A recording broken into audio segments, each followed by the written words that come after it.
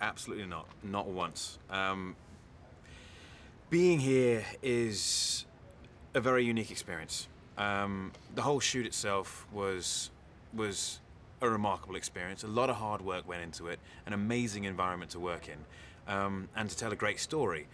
And there's been enough separation now from February when we finished the shoot last year um, to this point that this I've had enough of disconnect that now seeing pictures of myself and sitting in front of that is crazy again because it wasn't hasn't been part of my daily life for a year and a half, and um, it's exciting. I'm just looking forward to showing the story to the world.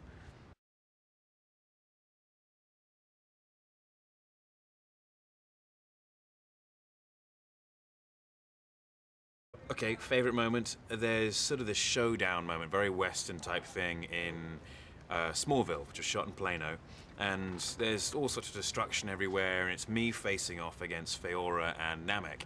And in between setups, it was just standing there relaxing. This breeze of wind gets channeled down this this street, this main street, and my cape catches it. And I'm sitting there thinking, this must look pretty cool. And then sure enough, as it's happening, people walking across the street in front of me, having these moments of looking at me going, yeah, dude, that's pretty cool. I'm like, okay, I, I guess it is. And that was one of those fun moments where you think, oh, wow, you know, I'm playing Superman, standing in a Superman suit. And even the crew are saying it's cool.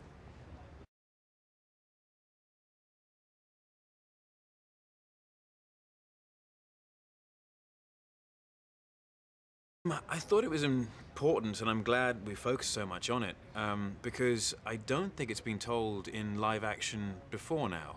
Um, it certainly existed in the comic books, but it's made it very different, and we wanted to base our story very much in realism.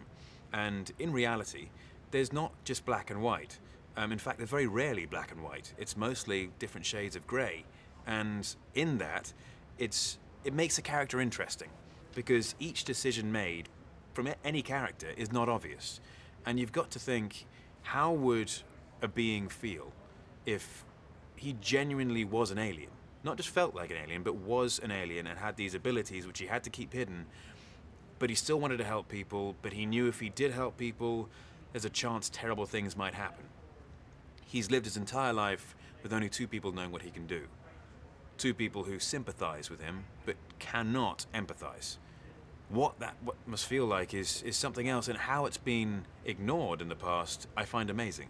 And it's just great to tell the story in its fullness as opposed to just part of the thing which is a great part the fantastic superpowers but now we get to tell the whole character and show the soul of Superman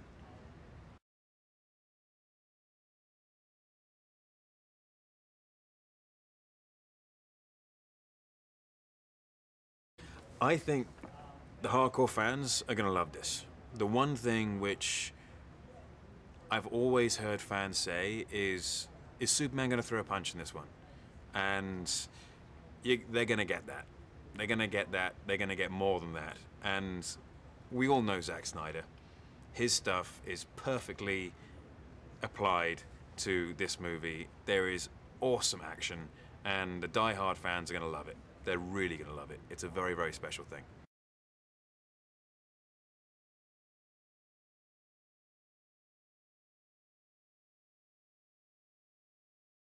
It was some hard training, very hard training, but made as comfortable as possible, um, as that kind of training can be anyway, by Mark Twight and Mike Blevins from Gym Jones.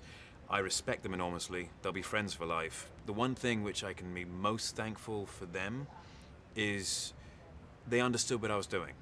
They understood that I had a job as well to do after walking out of the gym. I had another 14 hours. You know, I'd go to the gym for an hour in the morning and then 14 hours of work afterwards. So they would push me as far as they knew they could push me, but never beyond. It's very easy to crush someone in a, in a gym if you say, just do this. But they were doing the stuff with me. And they gave me reason and understanding to push myself. And I, I couldn't be more thankful.